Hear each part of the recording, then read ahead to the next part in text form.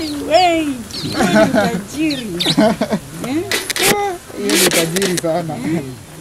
Naona hata ninajaribu kuweka hii miti tu ya Sasa inafaa sasa mtoto inanyonyeshwa pia na mama yake, akinyonyesha mtoto aache stori nyingine, atulie, ashike matiti vizuri, mtoto aache kutoa ile sauti ya kusema. Juu akitoa hiyo sasa, uh, uta, mtoto atafuta uh, baridi kwa tumbo ama pressure. Sio ndio maana saa zingine unasikia mtoto tumbo yake inasema jua hiyo imefuta hiyo upepo. So tulifunzwa mama yake ashikilie vizuri, na wakati ananyonyesha anatulia, aache stori nyingine, ndio mtoto anyonye mzuri. Mtoto anastahili kunyonyeshwa kwa hiyo miezi sita. Kwa watoto wengine, sisi tulikuwa watoto na wapea watoto chakula wanapo- wanapozaliwa, lakini tuliona ni changamoto sana, lakini saa hii venye tumepata mafunzo, tangu sasa tupate mafunzo, tumeona watoto wamebadilika sana. elewa chakula pia yenye tunafaa kula. Jua kwa anajua na spices zenye zinaweza wekwa kwa mboga kwa chakula ndio at least iwe na taste. Amejua. Na pia mambo ya usafi ameelewa. Na kuzingatia bado pia kwa choo juu wako anaelewa kama choo iko na maana pia sasa ingine tunatumia maziwa ama wana buy two cabbage mm.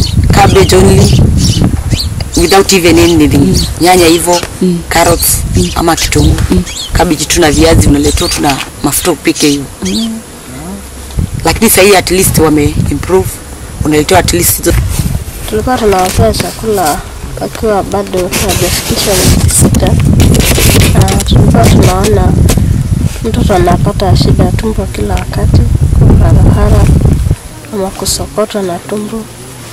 Naona mtoto anadidimia kwa kilo, lakini saa hii huyu naona haja- hajawahi pata shida yote ya tumbo, ako sawa, anakuwa vizuri na kilo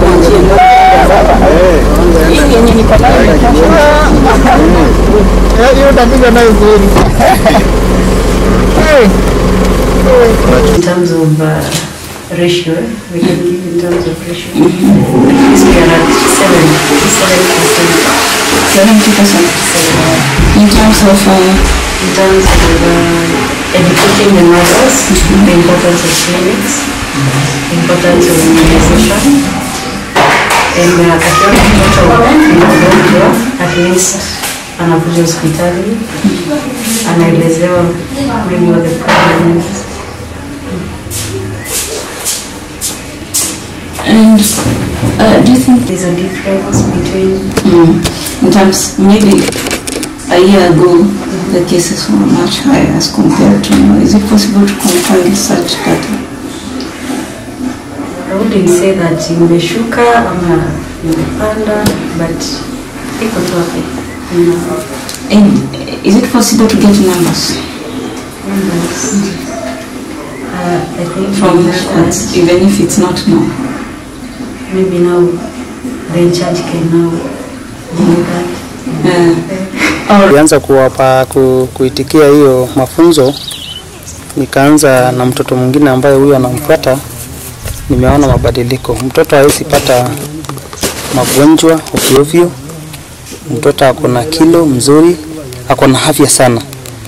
So wakati ambayo wale wengine ambayo si, sijamfuata hiyo maagizo wakati yenye sijui, kila saa na- nampeleka watoto kwa hospitali kila siku mara na, na, anapeleka akiwa anasikia tumbo anasokota, saa zingine anahara, zingine na homa kila saa, lakini wakati huu ndipo itikia hiyo masomo nikaona mabadiliko kabisa. Tuambia hii tuletee maneno ya wanawake hapa, wanawake waende kwa hospitali. Sasa hata saa zingine wananipea majina, huyu ni mzee wa mama.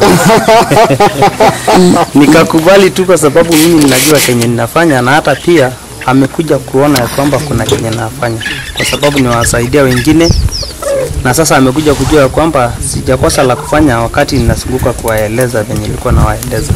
umezaa mtoto, tulifunzwa kwamba mtoto hanafaa kukaa miaka ya miezi sita bila kupatiwa chochote. Kwa sasa ana, ananyonya tu, Sasa baada ya miezi sita hapo tuanza kumpatia kitu kidogo kidogo, ndipo sa hapo tuliweza kila wanaambiwa. Walikuwa wanaona kuzalisha nyumbani na kushughulikia mama mjamzito, wao ndio wanaelewa zaidi ya hospitali ama wale wanawafunza.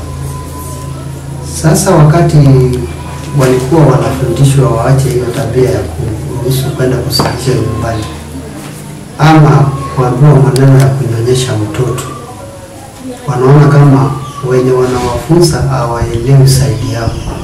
Wao ndio wanaelewa, wao ndio wanajua zaidi. Lakini wakati walikuja kufunzwa, wakaambiwa kuna hatari kusalisha mtu nyumbani, wakaambiwa mtoto anastahili kubreastfeed kuza wamama wachanga na pia wale wamekoma juu e, mafunzo hahitaji mtu mwenye mekomaa ama mtu hajakomaa, wote wanahitaji mafunzo na sana. Yalinisaidia sana, ukabadilisha nikabadilisha hata hao watoto wangu wengine wakubwa, unaona mwingine alikuwa na sasa kuna 25 years. Sasa wakati huo sikuwa na mafunzo kama hii. There's a lot of change because wakati huo hata tulikuwa na feed watoto tukizaa tunawa feed. Sasa kwa huyu mtoto wangu wa miezi miezi miaka nane na huyu mwingine wa miaka nne na huyu mwingine wa kumi na, na, ta, na tano huyu wa watu kumi na tano nimewapatia kitu kidogo, lakini huyu wa miaka nane na huyu wa miaka, miaka nne hao sijawapatia chochote. Nimekaa tunao miezi sita, maana niko na maziwa mingi, si hata sio ile ya kusema mama hana maziwa, maana most, most of the challenges unaweza kuta, unaweza enda kwa mama waambiwa huyu mama atamlisha huyu mtoto maana hana maziwa, titi zake hazina maziwa. Hivyo sasa challenges unaweza kuta unaambiwa hapana, lazima mtoto akule, maana tunaona mama yake hana chakula, na hivyo sasa ni kwa sababu ya kutofeed mama yeah. Uh, ni sisinta akaambiwa wasipewe hiyo nini wanapea. Kwanza hiyo ilikuwa changamoto kubwa sana, kwa sababu kuambiwa m- mtoto asipewe ile kamaji, ndio wanasemanga mama akijifungua hana maziwa. Wanasema hiyo titi yake ama hiyo nini haijajifungua kutoa maziwa. Sasa wao wanapatianga kamaji, kuna kamaji wanapatia inaitwa aje? wanaitanga uiti maji ya uiti. Kuna kamiti wanaitwa uiti, wanakoroga wanampatia tu immediately after kudeliver. Wanaenda kutoa hapo nje, wanakata hapo nje juu mamiti iko hapo nje, wanakuja kusiagaziaga, wanafanya hiyo maji hiyo kazito, wanampea mtoto. Sasa kitambo wakuja waache hiyo, ilikuwa ni challenge. Alafu